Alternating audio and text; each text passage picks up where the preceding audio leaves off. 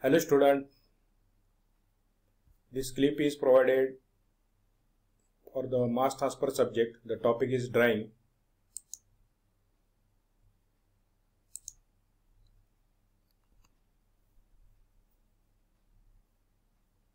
So the content of this clip is we are going to define drying, importance of drying and difference between drying and evaporation and at the last we can discuss some drying equipments. So drying is commonly last stage in the manufacture of manufacturing process. And what is meant by drying? Drying is nothing but the uh, removal of water from the material. So the material is nothing but that material is in the form of wet material, WET, wet material. And we are removing this material by using heat. That means by thermal means. So why the drying is carried out in industry? So to avoid or eliminate the moisture which may be leads to the corrosion or decrease the stability of drug or product. It is also improve the good properties of the material that is compressibility or flow flowability. It also reduces the cost of transportation. It also makes the material easy for handling and preservative. Preservative means we have to keep the material for long time. That means some food products we have to keep for long time. So that purpose also we can use the drying. So in drying and evaporation, in both the process we are removing the water, but there is difference between these two process. So first comparison point is the drying, in the drying process, the moisture is removed from the solid material. That means wet material and in evaporation the moisture or that water is removed from the liquid material that is solution.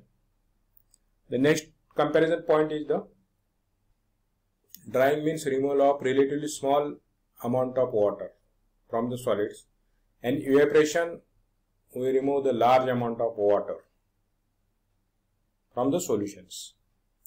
Next point for comparison is drying involve the removal of water at its at the temperature below its boiling point and evaporation means removal of water by boiling the solution. In drying, the water is water is usually removed by circulating air over the material to carry away the water vapor. And in evaporation, the water is removed from the material as a pure water. So that means in the vapor form with the hem, uh, with the help of steam. So these are the some of the drying equipments: rotary drum dryer, drum dryer, spray dryer, tray dryer, fluidized bed dryer. So rotary drum dryer consists of a drum, rotating drum having 2 to 3 meter diameter, this diameter, this is the diameter and it is having length 15 to 20 meter long means this length. Then this drying uh, dryer is slightly inclined towards the horizontal. This drying uh, this drum is the drum provided in this dryer is having plates. So plate is nothing but metal plates which is used for the lifting the uh, substance. Generally drying is carried out at the temperature 120 to 175 degrees Celsius and the air velocity is maintained 2000 to 25,000 kg per meter square hour for the porous material. That means the material which is having more diameter. So the air is taken from here, it is heated and then this air is moved on this wet solid. So the moisture get added in this air and the air is taken out from this exhaust. So in this way, the rotary drum dryer is operated. So next drum dryer is, uh, sorry, next dryer is the drum dryer, which is also known as film dryer. So it, contain, it contains a heated drum. So this is the heated drum by means of steam. And there is a pan is provided in which slurry is kept.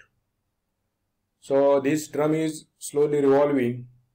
So while revolving, this drum pick the slurry that means some solid from this pan and by means of a spreader the thickness is maintained over this drum. While revolving this drum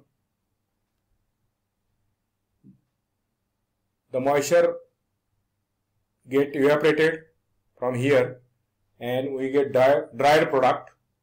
So this dry product is removed by means of a knife. So this is known as the drum dryer. So this is some description of that drum dryer. Next one is the spray dryer. These type of dryers are used in a manufacture of milk product. So here this is the drying chamber. This is known as the atomizer. So atomizer is nothing but the liquid is spray by means of this atomizer. So you have to add the hot air from here. It is mixed with the liquid. So the atomizer spray that liquid in the small droplets as the drying area is very small. So the that wet material or wet droplets are converted into dry products and it is taken out from here and the hot air is taken out from this air outlet provided. So here maybe a cyclone separator are provided which is not is shown in figure. So these cyclone separators are separated air and some dust dry particle dry product from the this which is uh, received from this outlet. So these type of dryers are used in a food industry. The next one is the tray dryer. So tray dryer consists of insulated cabinet and it is having the metal trays. So these are the trays on which the wet material is fed. So the air is taken in from here and heaters are provided here. So by means of a heaters this air is get heated and flow over these wet solids and the moisture is added in these wet uh, from wet solid into this hot air and this air is moving in this direction and it is it is taken out from the this air outlet. So tray dryer is generally used for a small capacity or for small batches.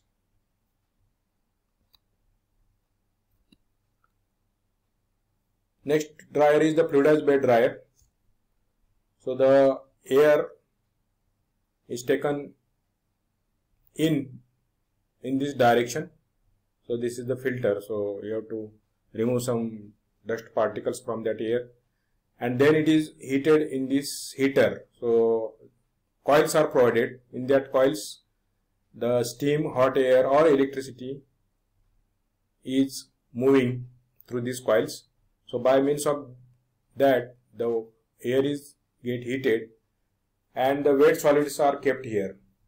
So when the air is flowing through these wet uh, solids, these solids are get a fluidized state. That means when the hot liquid is boiled, that state is obtained here. So that state is known as the fluidized state. That means these solids are suspended in that hot air. So the air filter bags are provided here. So this filter bag separated that hot water and that dry product and the hot air is removed from this exhaust removed by this exhaust fan through here. So the fluidized bed uh, dryer is generally used for heat sensitive material and drying of very fine size pre-flowing material. So in this way we have studied some drying equipments. Thanks.